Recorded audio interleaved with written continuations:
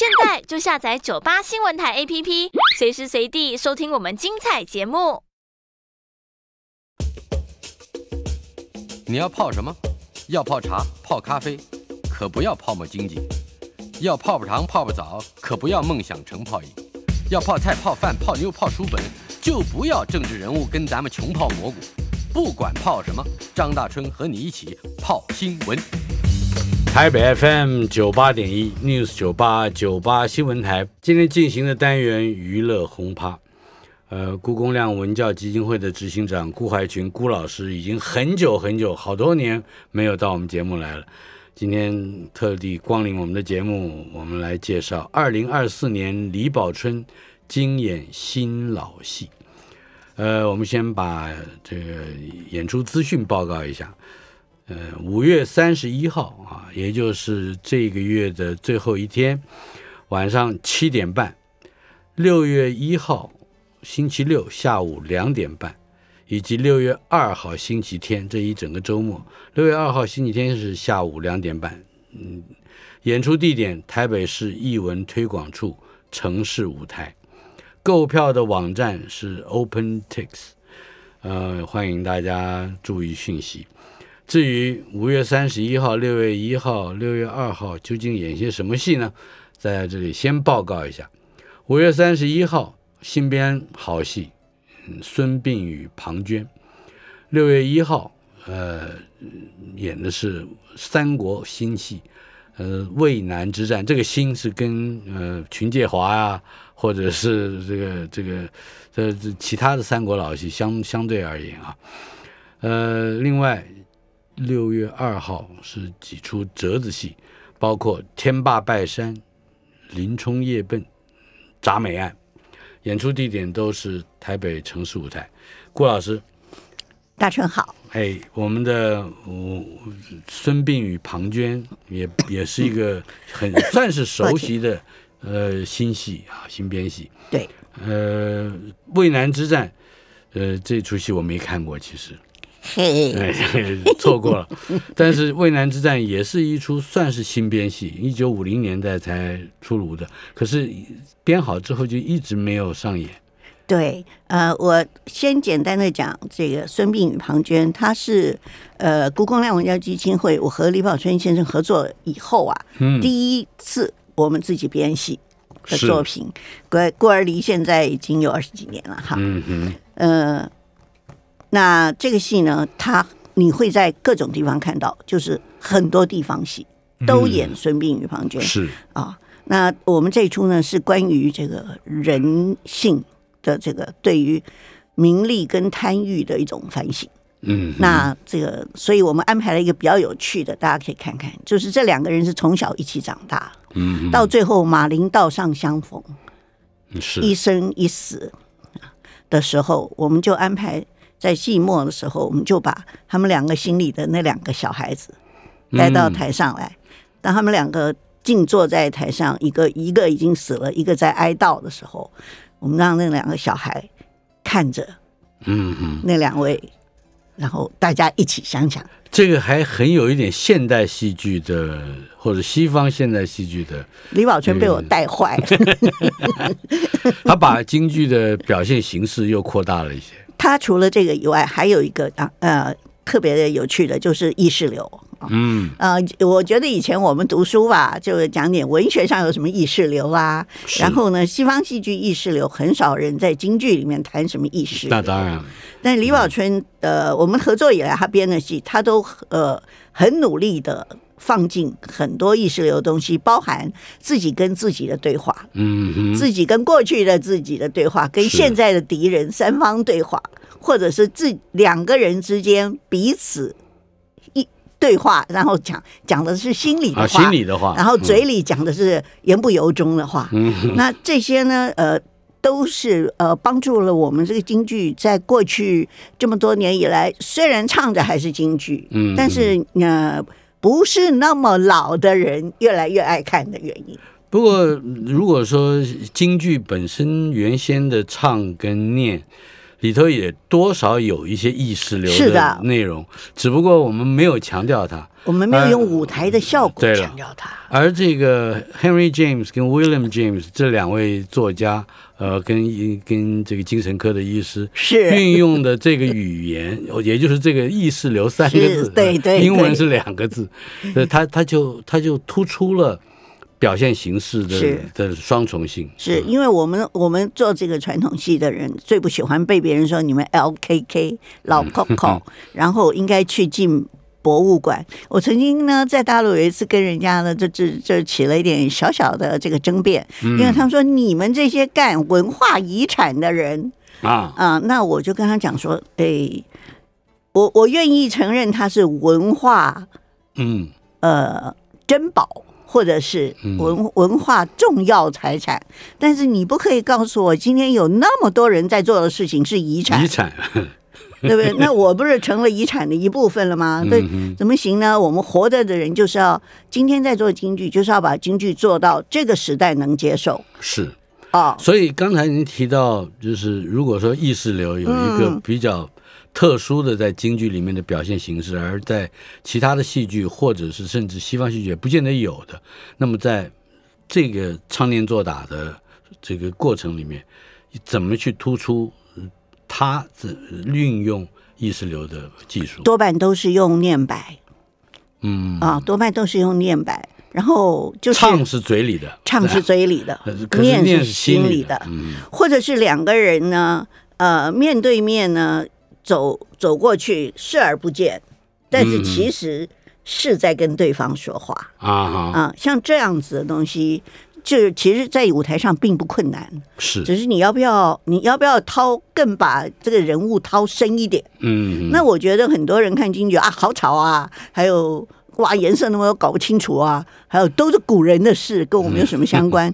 可是有时候你如果在那里，你发现这个暗灯比较暗的状况之下，有时候你跟一个人搓肩而过，而又没有看，似乎没有看到，其实也没有看到，但脑子里其实都是那个人，而且一直在跟那个人讲话。嗯嗯你会发现这个东西跟你的生活相当接近。是。哎，生病与庞涓本来就是一个吸引人的题目，呃，两个是应该是同窗同这个的同伴，嗯，呃，可是由于权力和未来理想的实践和发展之不同，使得其中这个人性比较脆弱的这一个这个角色，也就是庞涓，呃，起了不良之心，对他的这个 起了歹意。对，这个里头同为这个兄弟，或者说是这个哥们儿啊，这但是他他中间又有一跟很多成双成对的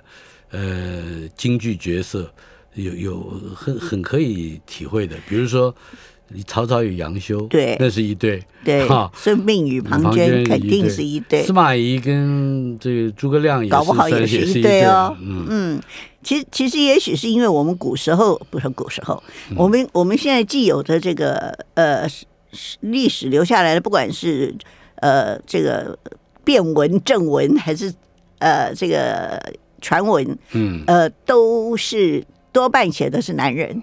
是。啊，因为男人东西较容易被记住。嗯哼。嗯、因为古时候的女人不太怎么在正经舞台上或其他的舞台上出现，有一对锁麟囊的，那那是女那女的，对对，那也是一你像。左伯桃、杨觉哀，那也是男的。对啊，这一点都没有错。所以你你碰到的是什么什么那一大堆重要的一对一对的，多半都是男人。那但是呢，呃，现在现在说到孙膑与庞涓呢，他们两个人呢是很现代的现在的两个人，嗯，就是。哥们嘛，一起长大嘛，然后彼此一个先下山了嘛，然后另外一个那个下山间说：“哎呀，你如果下山一定要来找我，这是很正常嘛。”很正常。就你留学回来一定要来找我啊，嗯然后你回来了以后呢，我们俩在一起，怎么我跟你聊着聊着，你怎么你怎么比我知道的那么多的？咱们不是同一个老师教的吗？所以就开始了，老师不公，嗯，会不会是老师不公平？藏了些东西。对，还是哈？你当时就已经骗我了哈？你这是什么意思？而且你在我老板面前显示你比我厉害，嗯，那这个实在太抱歉了，兄弟。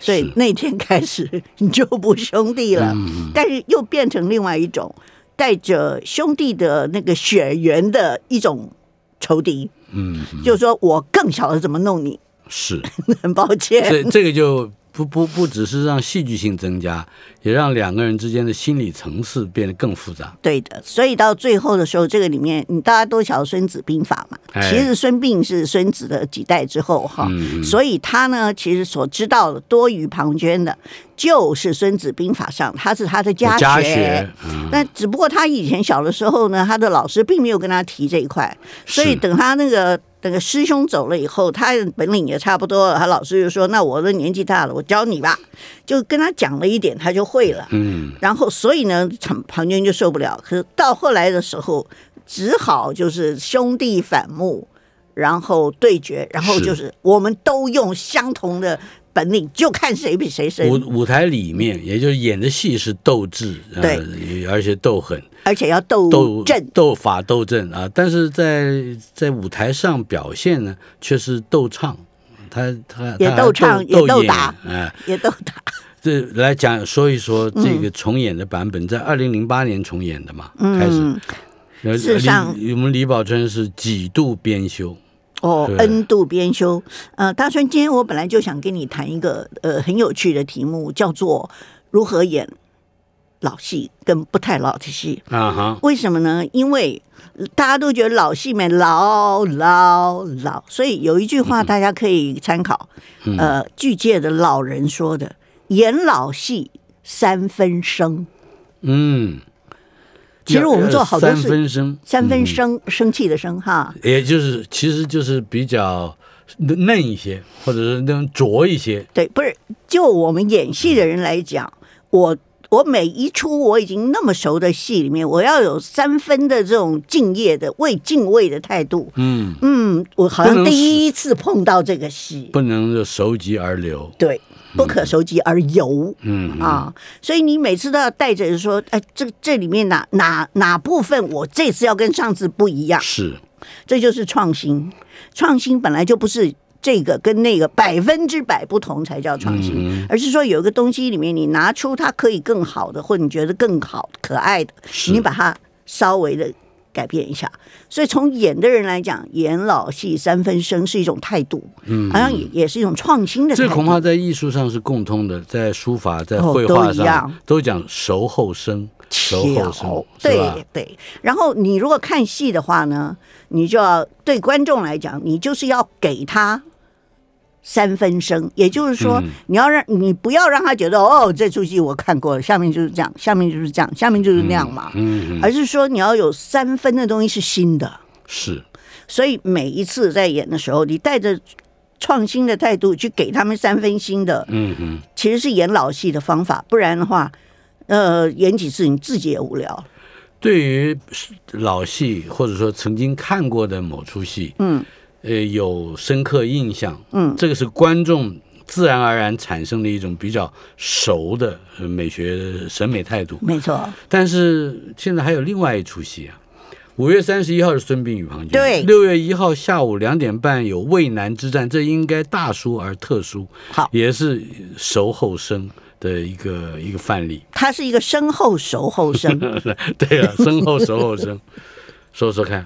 好，呃，渭南之战啊，其实大家真的很少听到这个戏名。嗯，那渭是泾渭分明的渭，就是渭渭水。好，在长啊长安跟这个洛阳附近的长黄这个这个黄河的 这个这个支流渭水哈。嗯啊，那大家现在常看连续剧的话，一天到晚有在渭水旁边发生的事，但其实，在三国里，呃，三国的故事里，渭水。呃，只是打仗的一个地名，并没有发生过特别特别特别厉害的地方，只有渭南之战，就是战渭南这个事情。所以你如果玩三国游戏，反而你会常常说：“哎呀，渭南怎样怎样。”那不玩游戏的人真的蛮抱歉。但是渭南之战这个戏呢，它是当年在一九五零年，我们也就是说我们大家都可能都还没有出生的那个时候，李宝春的父亲李少春呢，在大陆他就呃找了跟他一样这个常常当登对的大花脸，嗯，袁世海先生。哦，袁世海。啊，对，所以他们两个人合起来，一个演曹操，一个演里面的这个、呃呃西河西走廊的太守韩遂，韩遂。遂是那个顺遂顺遂的遂，对。那他们两个人合起来，想要去呃让一个年轻的、很棒的年轻演员一个武生。武生，他们当时看中了一个，啊。他们觉得说我们来搞一个马超。啊，这个马超呢是一个就大武将，然后又很帅，什么都对头，然后正好呢是是他呢就变成了曹操跟韩遂之间斗智斗力，最后曹操大赢的嗯，他的棋他棋子，一个棋子，但是他自己呢不知不觉真的也在里头玩的很高兴，这真的是典型棋子，当时看上的这个武生是什么人？好像叫史浩亮。啊？啊哈，，现在还在，所以是哎，但是不是都就我觉得丧失一个机会，很可能就但是这嗯个戏据说说就是要讲到丧失什么机会，演出的机会，因为他编好的第二天，他们已经成，他们彩排了，啊第二天就要上演的时候，呃，那个他们被他们的长官，也就是他们的京剧院的院长通知说，这个戏不能演，因为现在局势有点。政治局势、军事局势都有点混乱。嗯，一这个九五零，对，那个有你到时候你一定会被人家说你影射某甲是曹操，嗯嗯某乙是韩遂，啊哈，不要演。所以，所以我觉得那个时候，哎，三反五反啊，什么都还没有，连文化大革命都还没影呢。所以我觉得那个那是是就是海台海局势跟哎韩战的哎，院长大人是不是那个院长大人？是不是 稍微有一点点那个他的那个天天线是不是有一点点伸的太远了？呃可是，而且回头想一想，如果是一九五零年的话，袁世凯先生也非常年轻啊，他们当时都好年轻啊，是是所以是好棒的戏。是，结果没演，结果他们就排了半天，都他据说排了好好几个月，不知道有没有更久，就是哎，就是积极排练，至少好几个月，结果就竟然不演，不演了以后啊。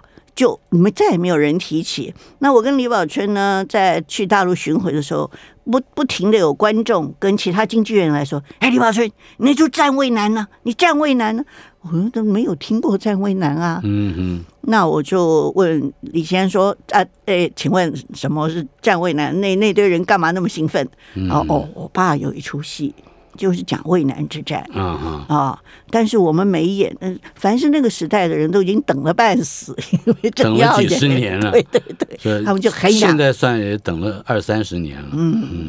所以我那我就说好不好玩？他就说：“哎呀，我那时候太小了，据说到了剧场，但是是别人抱着我，所以我记性不是不深。那我我我那他那你宝春也只有一岁，恐怕真的，嗯。呃，很他去了就是了啊。但是呃，我我我就说，那我们来拜托大陆的熟的朋友，我们开始找剧本。嗯有当然不用提录影带，什么都没有，是所以呢，也没有人会唱。啊，就就一个人都不会唱，然后所以呢，我们就去找找到了，这个是我找到的第二个孤本。我做戏以来找过第一本孤本是昆曲团的十五贯，啊，十五贯，对我们改嗯成金，但是那本是我在人家的那个博那个图书馆的架子最后面那个碎纸屑里面找出来，然后是用手抄的，拿起来的时候已经一个字都看不清楚，我把它照着那个透着灯我一个字一个字，绝绝对我们全办公室人近视眼都增加了大概 五十度之流，我们就把那剧本抄下来。后来昆剧团也演了啊，啊，然后呃季振华他们，我觉得他们都是很棒的。但是我们抄完了以后需要改成京才能唱，啊因为这个改成京剧差很多，嗯哎，所以那是我的第一个孤本。还有人写信来给我说。小心，顾小姐，我们那是孤本，你千万不要弄坏，还要还给我。我说我我连影印都不行，你还要叫我还给你。但第二本就是渭南之战，是渭南之战呢是是个是个恐怕是连孤本都没有，只剩下一堆，只一个大唱段是有人记得李李少春先生的韩遂唱的主唱段的部分。啊，然后那个恐怕就是就是老生表现的一一个老生，唱，哎对，然后其他都没有，就我们两个就开始，好吧，那我们就把它写起来，所以我们就把这个戏呢，就是从零啊零点一好了，就写成了这个渭南之战。等于是新编的，对。在你们的手上新编的但是这出戏。很有意思，它什么服装什么都是传统的，并没有一个伟大的那种什么设计服装多少钱，嗯灯光什么都没有，我们就是把它当成我们现在看过到嗯。很多很多三国戏里面之一嗯，演出来了。而且这样看起来就我我的假想啊，嗯，它就更像一出老戏。非常非常像，但是但是呢，里面又有意识流。也有意识流，李先现在没有办法不意识流，因为他在太爱挖掘角色的内心了，嗯所以他非意识一下不可。是。对，我们要进一段广告，好的，稍后片刻再回到意识流。今天访问的来宾很久没来到我们节目之中的嗯辜怀群老师，他是故宫亮文教基金会的执行长。我们讨论的题目就是二零二四年李宝春精演新老戏。方才谈到了渭南之战，渭南之战有非常多特殊之处，包括它的发掘以及重构，现在要真正的演出了。谈一谈这这一次演出的特色。好，嗯，这个渭南之战呢，如果不是因为他原本在大陆非常多期待李宝春先生父亲的那个戏嗯的观众都认为他叫战渭南。那等我们来重构的时候，我我会说，它其实应该叫计中计。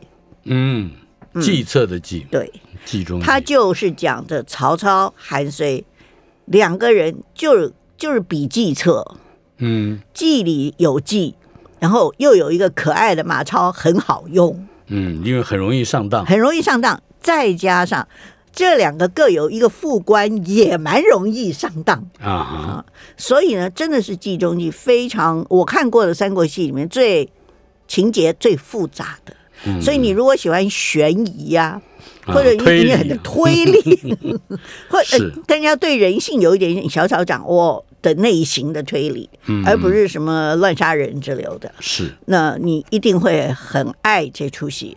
嗯，我们在呃呃有一次在武汉演出，呃演完演演出的时候，我一看前面那一排，中国有七个京剧院的院长都坐在里面一排看这出戏，然后演完的时候，通通冲到李宝春的这个化妆室说，能不能把这出戏给我们？嗯哦，那或者是有两个经纪人说，我们来跟你们来合演，好不好？合作哦合演当然是 OK。当时不敢乱给他们的原因，是因为李宝春还会再演嗯啊。那所以我觉得未来会不会就就把它拿给别人演了呢？其实极为可能的事情，是。哎因为这出戏呢不传下去太可惜了，京剧界不交流就很难传下去，完全对。呃就是要靠透过大量的交流，对，在不同的剧院之间发酵，哎才有可能往下完全同意，而且空间换取时间嘛，每个人都有三分生的那块。哎，可以让你看到，你知道你会自己会越演越好。嗯。啊，看别人演其实是为了增加自己演的的这个 data bank，是，绝对不是说看别人演就是去学或去抄。而且如果各地的军京剧院都有兴趣，就表示这个戏的台地有什么意思戏剧感非常之充分了。他们说所有的声角和带呃呃从上到下，就是主角一直到兵队小兵，嗯啊哈，全团都能上。哦，你现在看看这个戏的规模是啊，然后呢，这个。呃，我们刚刚这个私下跟这个大成聊天的时候，我们就讲三国戏有的时候会是很多人看这个看这个戏团的这个呃艺术能力的一个、嗯一个一个指标。啊如果你能开群介华，如果你能开呃龙凤呈祥，嗯你是什么样子的一个剧团？如果你连这两出戏都开不了，尤其群介华，你就不称之为剧团，这样子的 这种鄙视都有。啊但是呢，如果你能开渭南之战，你是一个非常像样的剧团。是哎，所以呢，呃，以台北新剧团来讲呢，这么小小一个、呃、剧团，我们竟然能开呢，呃，要谢谢每次都跟我们大一起合演的大花脸杨艳义杨燕艺老师。哎，，我们就趁着这个机会先介绍一下杨艳义。好啊，我我记得在他到台湾来很多次，嗯，而且这个他在球派之外是也也用过功，他很可爱，我们每个人第一次看到他的时候，都以为来了一个球派大花脸，是对不对？然后呢，他也真的很可爱，就是一个唱的非常棒的球派。当时这个中国大陆几十年来都是十进九球，十个大花脸，九个球派，或者无进不求。完全对。但是杨艳艺她本身的功夫，也就是唱的功夫，呃，诠释的这个改改角色的这个能力，是嗯远远不是只有球派可以牢笼。他有多用功啊！演完《孙膑与庞涓》，他写给我的笔记是两页 A A 四的纸，还加一堆密密麻麻用钢笔写。啊，他自己每一天演出，他都做笔记。做笔记，演完戏还能这样反馈给制作单位的演员，你就知道他，因为你下一次又不一定请他演，但是他还是那么认真。是，啊，那我一跟他合作一次就十几二十年了。嗯，嗯啊，那我们算是某种程度一起长大，因为他的花脸的戏路也越来越宽。越宽，啊，他原本是不怎么演曹操的，因为他的个子比较小呢，呃，没有像上长荣老师演袁世凯老师那种伟大的那种脸跟架子，所以他通常他有时候闭眼。可是我们说不行，那不行，我们那么多曹操戏，你偷偷演，就硬是把他搞上去呢。他之用功，所以用功，我觉得真的是对一个一直从事艺术人来讲，你你是可期待的。OK，、就是说你你这个人如果不用功的话，几乎就不必期待，因为艺术要很长的时间。所以你现在看杨艳艺的戏，你会开开心心、顺顺当当，是每一个角色都搞得好好的，所以我们就很喜欢很喜欢他。不过我透露一个很多人可能都知道的秘密，嗯杨艳艺呢，她不是科班出身，啊，哎，他原本是大陆的国手。嗯哦，啊。运动员。运动员，他原本是国手，但是他有一次受伤了，他非常年轻，他十八九岁，他就已经是他的那个国手 field 里面的教练，所以他有学生，一堆学生，然后呢。他就自己不小心呢，以后就不能够再运动。那他们就说：“你这个你这么年轻，你现在我们把你辅导去干什么呢？你才十八九岁、二十岁的。”嗯哼，结果他不晓得，他说：“那我你喜欢干什么？”他说：“我喜欢，我喜欢蛮喜欢唱戏的。那那个那个什么体委的那个都吓了一跳啊，国手，不得了，就如此出身，也居然可以称得上是一代的花脸了。你知道吗？他跑去跟戏校的人一起练功哦。他嗯说都是小孩，就他一个大人。啊，他说他一天都没有缺过，天天勤练。嗯。那所有的人呢，也哎不，人不是不能改行，但是你还是要很勤奋，而且多多少少要有一点天赋。我想他对他自己是有自知的，因为当时人家刚刚讲，我我们可以辅导你去做这个那个跟那个，你就也可以办退休。但是他说他要去唱戏，是十八九岁在戏这一行，就是做科这来，已经是很年毕业了年纪比较大。你大概十八岁毕业，然后你开始在台上从那个宫女跟小兵开始，那一直往中间挤。这就是是传统戏的特色啊！你这，因为他们常常讲说，哟，你这样把别人搞呃搞倒了，你自己也不能站中间呐啊！站中间的意思就是你当主角了哈，所以要从旁边到中间又要很长的一段时间。这个现在流行的话叫 C 位，哎，对对对 对。哎，大春，你真的讲到了 重点，因为我有一天看大陆的那个都资料，我还花了，居然花了好久时间才搞清楚这个 C 位，位这个是 center center。center 的 position。来来来，嗯我们再来介绍一下六月二号下午是新戏林立，老戏毅力，是吧？是，这是我自己最喜欢的，我我觉得我还写的比较不不错的一个一个老戏的品牌。那呃，三三个折子戏，是我。我想，我先提醒大家，五五月三十一号《孙膑与庞涓》因为是星期五，所以是晚上七点半的戏。嗯，OK，但是礼拜六跟礼拜天这么多年来，我们已经都改为下午。都是就是两点半这两天，对，那这个是一个非常大对演员来讲，这个非常大的考验，因为有许多演员唱了一辈子戏，他下午的状况并不好，他就是要晚上，因为他下午多半在午睡啊，嗯，要为晚上，所以刚刚开始请他们下午唱戏的时候，他们都一副还没睡醒的样子，嗯然后嗓子不是特别开，他们都很紧张。可是现在呢，在台湾已经几几乎所有的这个戏呢，呃，周末的戏都是下午开了。嗯呃，那我我特别高兴，因为只有下午开戏，你才可以陪着你的爸爸妈妈或家里的老人出来走一走，然后看完戏吃顿饭，还可以回家去是不是？如果还是晚上的话，你就跟你的爸爸妈妈说他，你你太累了，他太晚了，所以他不必看。是不是这样？所以呃，我我我我们演戏的人呢，也也是为了看戏的人，愿意非常调整自己的。有的时候没有那么好，就请你原谅啊。呃，这这个这一次的折子戏《天八拜山》，哦，然后是《林冲夜奔》以及《铡美案》，这这这三出戏呢，嗯，真的真的是被我我我李宝春被我挤出来的，好不好？因为呢，我以前孙膑与庞涓一开就三天，啊哈，魏延之战也开三天。是现在呢，我让他一天演一出，他的头呢就比什么都还要大，因为那个词都多的不得了。尤其孙膑与庞涓，我的公开道歉，我当年呢，呃，这个对京剧不够懂，所以我写的文字过多。啊，就像舞台剧，所以呢，经过这几年一直删呢，还是显得显得讲话的地方不少啊。嗯那唱的地方又多，所以哗，他很可怜。最后第三天，他说：“你不能再叫我演一出什么啦，我呃什么受不了啦。”要那好，我说那我们我们开三出小戏，因为为什么呢？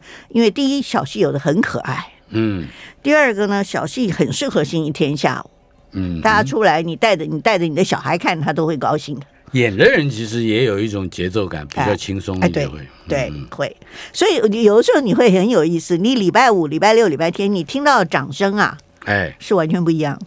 是。嗯礼礼拜六、礼拜天是带着高兴的那个，带着，no no no，他鼓掌的地方不一样，因为他是不是老戏迷，哦，就是你你老戏迷就。都会在节骨眼上，啊就最多的人会鼓掌，最多人会要求的地方，他鼓的特别响。但是这个年轻戏迷啊，嗯。就会觉得棒的就鼓，啊，啊，所以你你一听哦，吼吼今天这一群啊都是礼拜五，好，稍后片刻，马上回来。台北 FM 九八点一 News 九八九八新闻台娱乐轰趴访问的是辜公亮文教基金会的执行长顾怀群老师。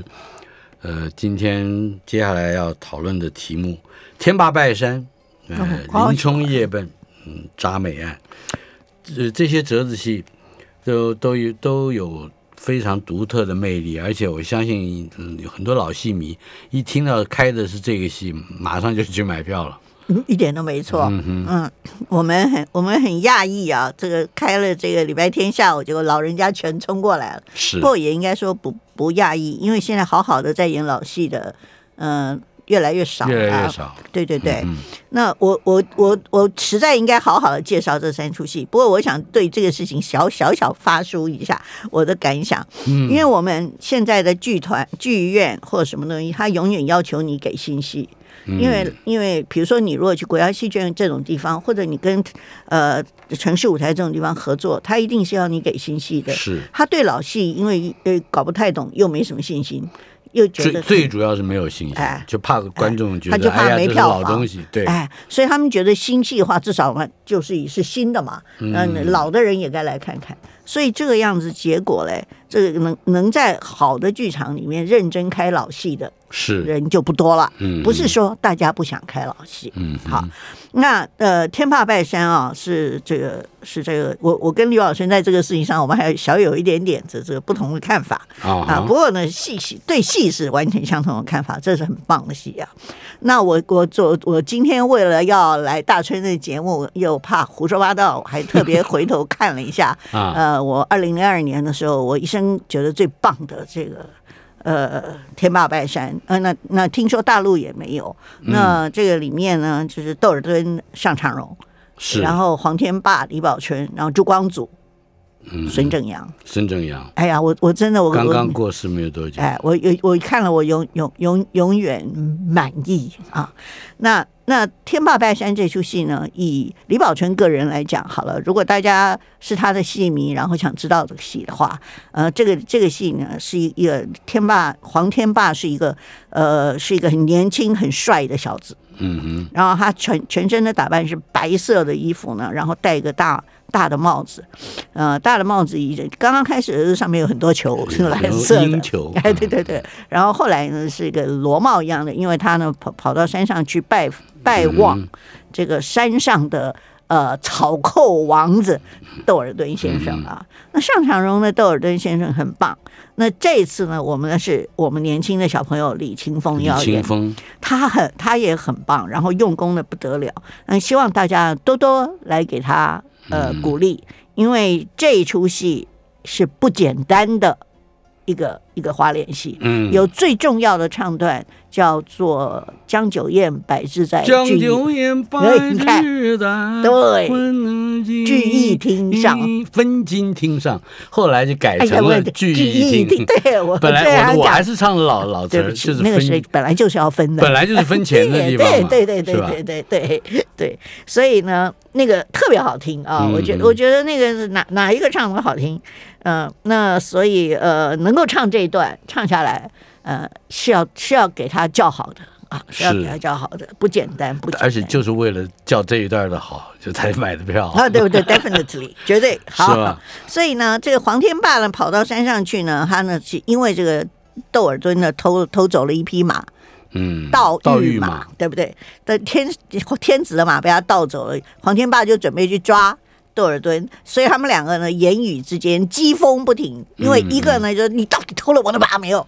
有的话拿出来。另外一个说什么马没听过。后来忍不住说我就认识一匹好马，耶，长得这个样子，骑起来可以飞的。嗯，黄天霸就说那你拿出来，我们大家骑骑看呐、嗯，所以他就骗出来了，这个马就会骗出来。黄天霸一下跳上去，就差点就骑走了。嗯幸亏呢，窦尔敦有一点点这个，哎，小子你过分了，就把他拉回来。所以戏呢又有趣，然后大家又是逗，好，那而且两个相对立的力量，这一方面你也会同情窦尔敦，一方面你也要希望黄天霸完成任务，哎，对对对，就是这这观众的心里会有两面的同情。所以我就刚刚跟大春讲嘛，我跟宝春在这件事情上就就我们俩看法就是不太相同。嗯哼，因为当时呢，这堆人被招安了，所以黄天霸那边那边呢就归归了官方嘛。对，那那个窦尔敦那边呢，就归了山林了嘛，嗯哼，所以当然见了面以后就